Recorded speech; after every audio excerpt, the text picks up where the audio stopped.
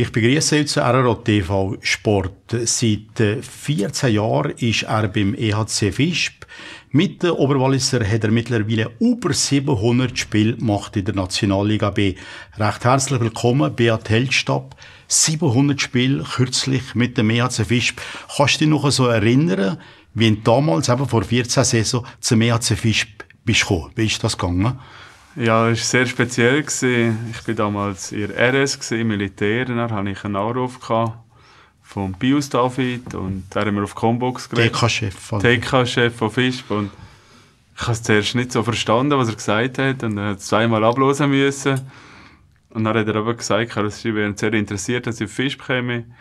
Dann hatte ich aber noch Möglichkeiten, bin ich in Thurgau gewesen, dann hatte ich die mhm. Möglichkeit gehabt, dass ich eigentlich nochmal in Davos in der ersten Mannschaft Chance bekomme hat dann dort auch angefangen. Wir haben eigentlich sehr einen schlechten Start am Anfang. Und nach etwa zehn Spielen er noch die Jungen nicht mehr spielen lassen. Dann, ja, haben wir den Pius da wieder mal angerufen. Der ist nicht besser verstanden? Nein, nicht besser verstanden. Dann, ähm, so ist das eigentlich zustande gekommen, dass ich nach Fisch bekomme. Also, da angefangen mit dem EHC Fisch. Vorher hast du gespielt äh, mit Davos, mit den Junioren. Da hast du angefangen Hockey spielen. Kannst du dich noch erinnern an die Juniorenzeit bei Davos?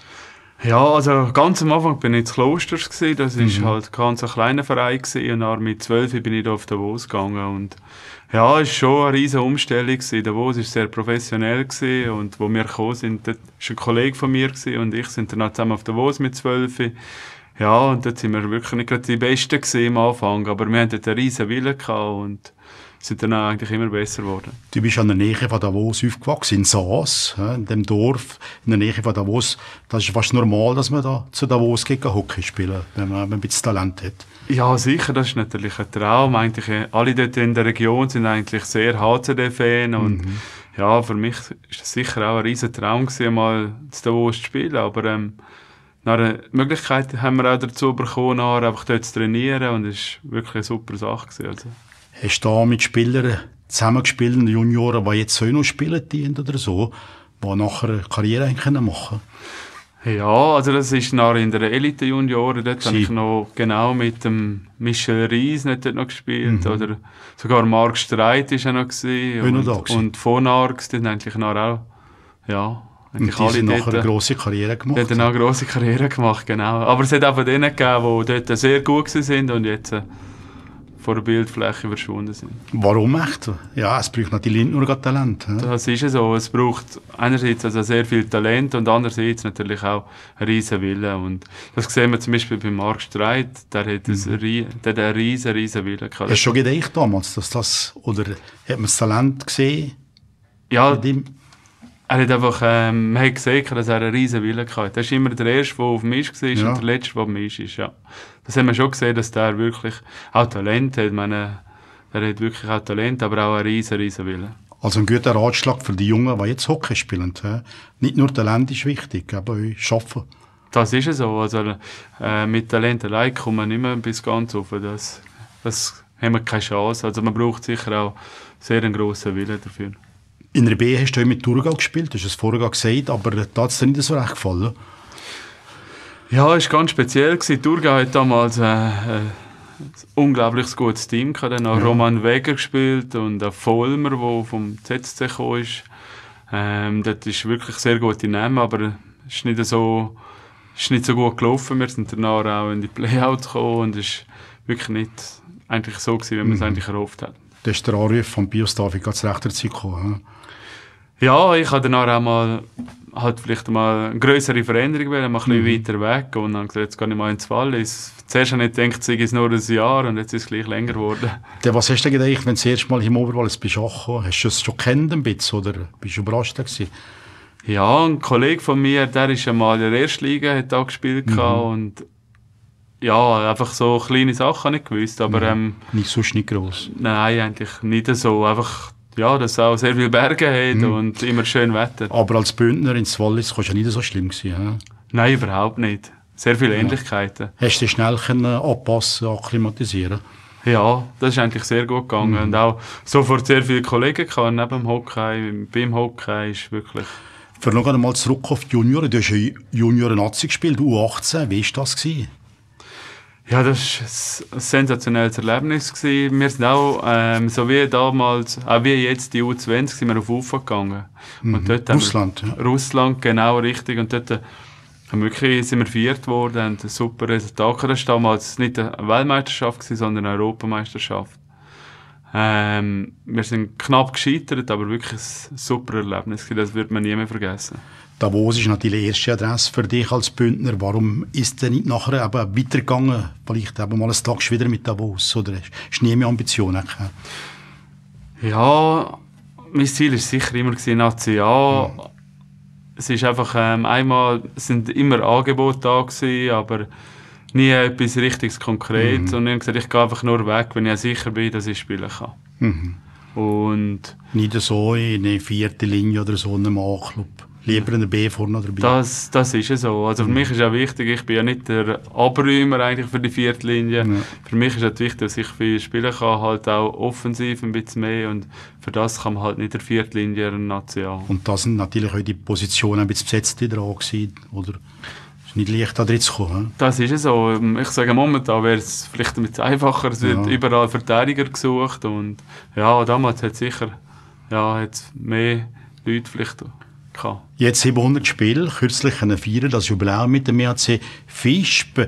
Du hast lange zusammengespielt mit dem Portner, jetzt viel mit dem Antamat. Dann ist es wichtig, dass man ein bisschen ein eingespieltes Duo ist, für dich. Ja, ich glaube, das ist sicher von Vorteil. Ich meine, damals mit dem Philipp Portner habe ich äh, einen gehabt, der defensiv eigentlich sehr gut gespielt hat. Er hat mir eigentlich hin ein bisschen die Drecksarbeit, wie man sagt, gemacht für mich und ich habe dafür mehr offensiv mehr Freiheiten gehabt. Und ähnliches jetzt mit dem Silvan, oder?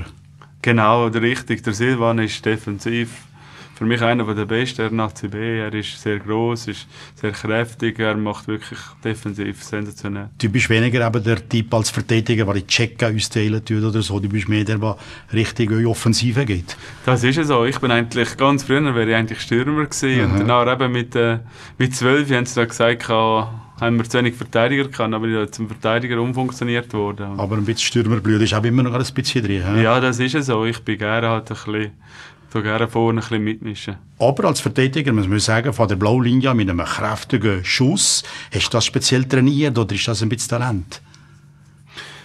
Ja, ich glaube, Schießen ist sicher auch ein bisschen zu tun mit Technik. Also Ja. das braucht es nicht nur Kraft, also es ist sicher auch sehr viel mit Technik verbunden.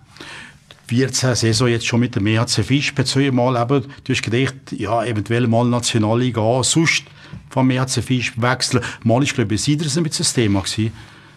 Ja, das war mehr rundherum. Gewesen. Ja. Eigentlich, konkret ist das nicht, gewesen, dass ich gewesen. auf Siders gehe. Ich habe gewusst, was ich zu Fisch habe und habe eigentlich, ja, innerhalb von der B hätte wirklich etwas sehr Spezielles sein müssen, dass ich wechseln hätte ich wollen. Ab und zu jetzt ein kleiner Abstecher gegen die Nationalliga da wo, äh, pardon, das SL Tigers bist du mal gewesen, Zug und so weiter. Wie war das gewesen, wenn du ein bisschen hast können, Luft schnuppern?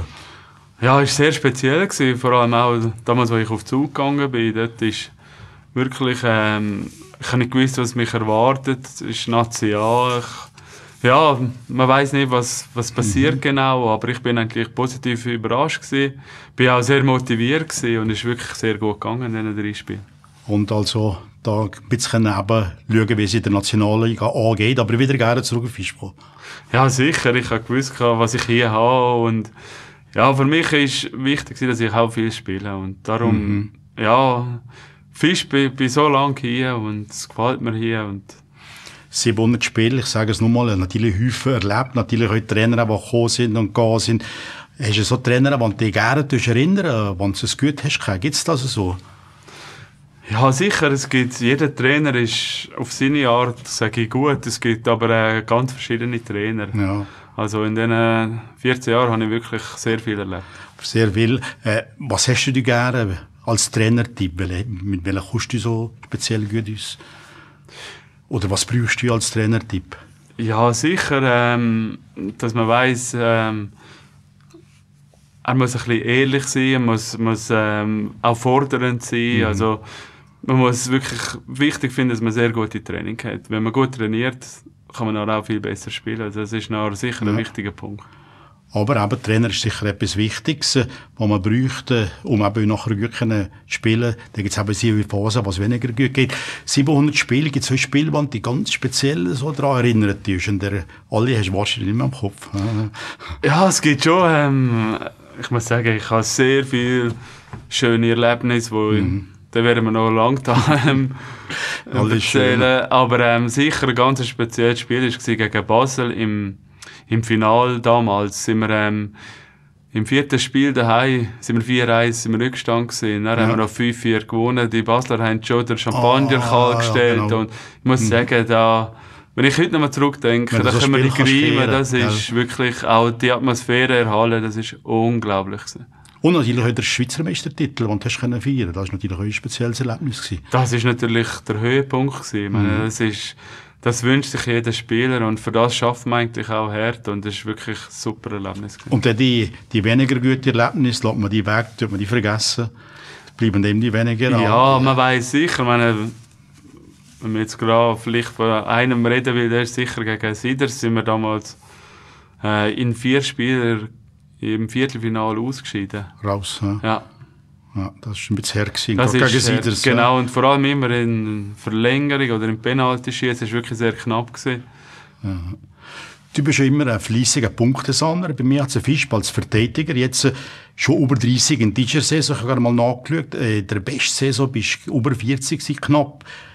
Es längt jetzt ja fast vielleicht für einen neuen Rekord, wenn du so weitermachst. Ja, das wäre gut. ähm, ja, das ist halt, wenn man ich spiele halt auch sehr viel Powerplay, sehr viel mit den Ausländern und dann mhm. durch das haben wir natürlich auch mehr Punkte. Aber wichtig ist natürlich, dass die Mannschaft das Resultat bringen tut. Weniger gerade auf sich. Das ist es so. Für mich ist nicht wichtig, ob ich Punkte habe, sondern es äh, ist sehr viel wichtiger, dass wir als Mannschaft Erfolg haben. Das bringt uns auch weiter. Wenn man so schon ein paar Jahre mehr als Fisch dabei war, hat man natürlich auch einen Haufen Reisen, die man machen muss, an die Auswärtsspiele. Das ist natürlich bei mir als Fisch ein bisschen mühsam. Oder wie erlebst du das? Ja, das ist sicher halt, ja, aber man gewöhnt sich auch ein bisschen dran. Jetzt, in diesen 14 Jahren ja. habe ich das, also das erlebt man das ist, gehört eigentlich so wie zum normalen, also alltäglichen... Nimmt man Käufe. Genau, das ist so und... Was macht ihr denn so während der Reise, wenn ihr auf Thurgau, Basel, Aschwa geht? Es ist verschieden, also jetzt haben wir wieder angefangen zu jassen und... Äh, Aha, das gefällt dir? Das gefällt mir, ja, und dann geht natürlich die Zeit auch viel schneller. Ja, das ist gut für die Konzentration, da wird man nicht ab. Also wir dann erst mit dem ah, Heimfahren. Zurückgehen. Ja. Vor konzentrieren. Vorher ja, zum Teil halt auch schlafen. Viele mhm. schlafen im Bus. Du hast natürlich auch Haufen Gegenspieler erlebt da berühmte und weniger berühmte. Kannst du dich an solche erinnern, wo es besonders schwer hast als Verteidiger, als Stürmer sind gekommen? Welche bleiben dir das im Kopf, die, die gut sind oder so? Spieler, Gegenspieler? Ja. Oder keiner speziell, oder? Ja, sicher. Es gibt, äh, jede Mannschaft hat mhm. äh, gewisse Spieler, die sehr trickreich sind und sehr, also schwierig zum verteidigen als ja. Verteidiger. Also, ja, vor allem eben gewisse Ausländer, die sicher, ähm, ja... Aber man kennt natürlich eben nach so vielen Spielen ein bisschen die Gegner, nicht schlecht. He? Das ist es so. Also, eben zum Beispiel momentan, zum Beispiel der Demare, der mhm, ist sicher sehr schon. wendig. Also da muss man immer aufpassen. Da. Seit ja. 14 Jahren, Beat Heldstadt beim ERC Fisch, hast du die Entwicklung gesehen, was der Club gemacht hat in der Zeit, in diesen 14 Jahren. Wie tust du damit beurteilen? Aber wie es jetzt in diesen 14 Jahren gegangen ist? Ich glaube, Fisch hat sicher einen riesen Schritt nach, vor, nach vorne gemacht. Ich meine, am Anfang war halt alles noch Neuland, aber mhm. der hat Fisch, wenn ich genau nicht gewusst, wo gehen wir her. Und ich glaube, momentan sind wirklich sehr gute Strukturen drin und auch eine Strategie, wo es hergehen soll. Und in der B allgemein, wie siehst du es da? Ist das Niveau höher gekommen oder in den letzten Jahren? Ja, also ich habe schon das Gefühl, in den ja. letzten paar Jahren ist das Niveau sicher ähm, recht gestiegen. Ja. Vor allem, was hat sich so geändert? Schnelligkeit? Ja, Schnelligkeit. Es ist, ja, es kommt halt auch viel, wenn man sieht, wenn Nazi-A-Spieler in Nazi B kommen, es ist eben nicht so einfach. Man kann nicht einfach in Nazi B kommen und das Gefühl haben, es sei locker mm. und man kann nicht da einfach spielen. Also, ja, man muss einfach wirklich auch krampfen Nazi B. Ja, es ist natürlich auch nicht immer leicht zu gewinnen, das ist klar. Du als Verteidiger, äh, wenn du zum Beispiel an der Blaulinie einen Böck verlierst und so weiter, das Bisp zwar ein treues Publikum, aber plötzlich sind Pfiffe da, kehrt man die als Spieler. Wie ist das als erfahrener Spieler, wenn eben so Kritik von der Ränge kommt? Kann man das verarbeiten oder ist es immer noch schwierig? Ja, also ich glaube, in, diesen Jahren... Ja, man ein bisschen... Ja, also das ist auch... Man, man nimmt das schon wahr, also man ja. hört zum Teil schon Pfiff, aber... Ja, es geht halt einem nicht immer so persönlich, also... Mhm. Ja, man muss mit dem umgehen können. Sonst wird es eh schwierig, auf diesem Niveau Hockey zu spielen. Kann man das wegstecken, sofort? Das muss man. Ja. Muss man. Ich meine, es gibt ja immer, im Sport gibt es gute Zeiten, dann gibt es halt weniger gute Zeiten. Und ja, auch wenn es mal schlechter geht, muss man auch da durchgehen. Und dann ist auch wichtig, dass man halt mental ja, einfach probiert. Das wegstecken. Genau, richtig. Aber es gibt gute Zeiten, schlechte Saison. In dieser Saison über mehr als Fisch, Hochs und Tiefs. Es wechselt so ein bisschen ab. Wie tust du es beurteilen, als erfahrener Spieler? Ja, also, wir haben sicher halt, genau wie, wie, du gesagt hast, auf und ab. Und das ist genau das Problem. Wir haben mal ein Drittel, wo wir sehr gut spielen, und dann haben wir wieder ein Drittel, wo wir wirklich wieder einfach, ja, weniger gut spielen. Und, und zum Teil, vielleicht ist es auch, wie wir jetzt halt einfach jüngere Spieler halt mhm. auch haben, halt, wenn wir das Goal bekommen, halt, dass wir nicht cool weiterspielen, sondern einfach nervös werden. Das haben wir zum Beispiel gesehen, eben gegen Aschwa, das erste Drittel, was sehr gut war vom RC Fisch, plötzlich bekommt man das Goal und dann ist man verunsichert. Das ist es so und ja, unser Ziel war ja unter den ersten vier mhm. und jetzt müssen wir schauen, dass wir äh, gegen vorne, also nicht mehr, dass wir nicht mehr weiter zurückgehen. Mhm. Und, und eben, sobald ein paar Spiele nicht so gut sind, haben es wieder Trainer und so weiter, ist in Diskussion. Wie tust du das beurteilen, äh, wenn, wenn so Stimmen wieder kommen? Ja, meine, schlussendlich sind wir auf mich sind wir verantwortlich mhm. für die Leistung. Also, ich glaube, wir müssen jetzt als Team wieder da draus finden. Und meine, das ist nicht die erste Saison, wo ich das erlebe. Und mhm. Jetzt ist einfach wichtig, dass man... Kann man da als erfahrener Spieler mit helfen? Ja, sicher. Meine, jetzt sind die erfahrenen Spieler eigentlich mhm. auch gefordert. Jetzt müssen wir eigentlich äh, das Ruder in die Hand nehmen und probieren, die Jungen, genau, und die Jungen mitzureißen. Aber die müssen natürlich auch kommen. He? Das ist natürlich wichtig. Ohne ja. die geht es nicht. Ja. Es bringt nicht, wenn ein Spieler allein da probiert. Also, wir brauchen eigentlich alle Spieler, dass wir Erfolg haben unter den ersten vier, das sind im Moment andere Mannschaften. Hast du so erwartet ein bisschen? Aschwa ist ein bisschen eine Überraschung im Moment. Die anderen hat man so können denken. Ja, das ist die einzige Überraschung für mhm. mich. Also, meine, wenn ich sehe, Lausanne, Olten, Langenthal, auch Schottfond, die haben ein sehr gutes Kader mhm. und die habe ich eigentlich dort vorne erwartet. Und unten haben wir eben Sieders leider Gottes und Thurgau und so. Hast du das wirklich gedacht damals gesehen? So? Ja, also wenn ich so die Kader gesehen habe, dann habe ich schon gedacht, dass es ungefähr so sein wird. Aber ich meine, es muss immer zuerst gespielt werden. Und wir haben vorher mal geredet, eben Beat äh, richtig Sieders, aber das war nur so ein bisschen eben das Geplänkel. Gewesen. Jetzt Sieders ein bisschen mit Schwierigkeiten. Wie tust du das beurteilen? Ja, ich finde es sehr schade. Ich muss sagen, am Anfang, wo ich da war, sind das natürlich unglaublich schöne Spiel gewesen. Ja, Vor allem sehr, Derbys, ja. sehr hart umkämpft und Emotionen und Stadien sind voll gewesen und von dem sehen wir heute nichts mehr. Schade, hä? Sehr schade, ja. Ja, aber hoffen wir natürlich, dass da noch ein gutes Ende kommt mit dem HC Sieders. Du spielst Hockey seit 14 Jahren mehr als ein Fisch, aber mittlerweile auch heimisch geworden im Oberwallis, auch beruflich. Du bist da Chef der Krankenkasse Concordia im Oberwallis. Wie kann man das verbinden? So eine wichtiger Job mit Hockey. Geht das? Ja, es ist halt sehr viel Aufwand. Ja. Aber äh, für mich ist einfach sehr wichtig, dass ich, wenn ich aufhöre Hockey spiele, dass ich äh, nebendran auch noch Standbein habe. Und jetzt, äh, durch das habe ich jetzt bei Concordia wirklich einen super Job bekommen. Mhm. Und Kannst du es gut verbinden? So? Ja, also... Gibt es Zeiten, was schwieriger ist? Ist halt schon so, wenn wir Auswärtsspiel haben, wenn mhm. wir ab und zu halt spät heimkommen, heisst es gleich am Morgen aufstehen und arbeiten.